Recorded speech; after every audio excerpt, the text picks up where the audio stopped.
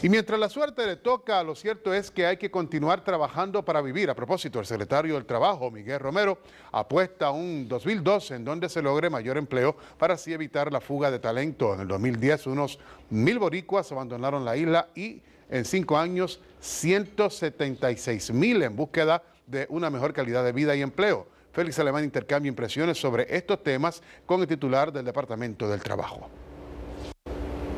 Precisamente para hablar acerca de las proyecciones del Departamento del Trabajo, vamos a conversar con el secretario del Departamento del Trabajo y Recursos Humanos, licenciado Miguel Romero, quien nos hablará acerca de sus expectativas para este año. Ha sido un cuatrenio difícil, eh, el desempleo ha llegado inclusive a dos dígitos, 17%, hablamos también de cifras de un 16.9%. Ahora se habla de noviembre, que eh, un desempleo de 15.2%.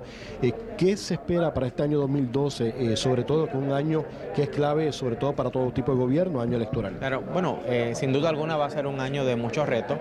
Como tú bien expresaste, en el año 2009 alcanzamos niveles de desempleo de un 16.9%, de un 17%. Ya estamos viendo los números han ido bajando. El mes de noviembre cerró con un 15.2%, una reducción de un 1.1% con relación al mes anterior y de un 0.2% con relación al mismo periodo del año anterior. Esos son signos positivos modestos. Lo que esperamos es que este año esos signos positivos continúen, eh, se sostengan en nuestra economía. Eh, entra la nueva etapa de la reforma contributiva del gobernador Luis Fortuño. Los, los trabajadores van a ver reducciones aún más dramáticas en las contribuciones, le va a sobrar más dinero de su cheque. Las pequeñas empresas puertorriqueñas, específicamente esas que no tienen decreto de exención, van a ver una reducción dramática en su responsabilidad contributiva.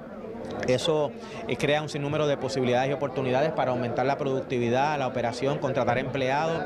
Hay signos positivos que se han visto. Cerramos el año 2011 con aumento en la venta de cemento, 70 y pico por ciento de residencias nuevas, recaudos del gobierno en aumento, quiebras que han disminuido. Yo creo que si continuamos, vamos poco a poco a continuar viendo estos signos positivos. secretario, eso coincide con el año electoral, como señaló en un principio. ¿Es una estrategia político-partidista? Bueno, mira, política. La realidad es que si, de algo se ha caracterizado la administración del gobernador Luis Fortuño es de tomar las decisiones correctas sin importar las elecciones. Y te, explico.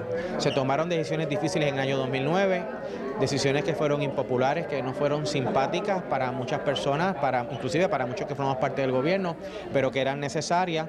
Eh, se aprobó la reforma contributiva y está haciendo justicia a los contribuyentes. Se aprobó las alianzas público-privadas y se recibió hasta un premio a la alianza público-privada del manejo de autopistas que está creando un clima de inversión en Puerto Rico dramático. Se reformuló el proceso de permiso. Yo creo que más allá, eso no es eh, eh, campaña política, más bien eso es el trabajo que hay que hacer que tenga un impacto positivo en las elecciones, pues obviamente eso es algo que uno no controla, pero ciertamente lo va a tener. Finalmente, eh, ¿qué se va, a qué esfuerzos van a encaminarse para evitar la fuga de talento del país? Bueno, mira, eh, hemos encaminado un sinnúmero de, de esfuerzos. Puerto Rico ha estado trabajando con resolver problemas estructurales. Desde el año 2009 al año 2011 hemos aumentado seis niveles de competitividad a nivel mundial, según la última encuesta del World Economic Forum. Vamos a continuar trabajando para promover la competitividad. En la medida que somos más competitivos más productivos, que tenemos un sistema contributivo que es más justo, que es más práctico, en esa medida traemos la inversión. En la medida que promovemos las alianzas público-privadas, convertimos a Puerto Rico en un foco, una jurisdicción atractiva para la inversión multimillonaria. Eso crea buenos empleos y mejores salarios.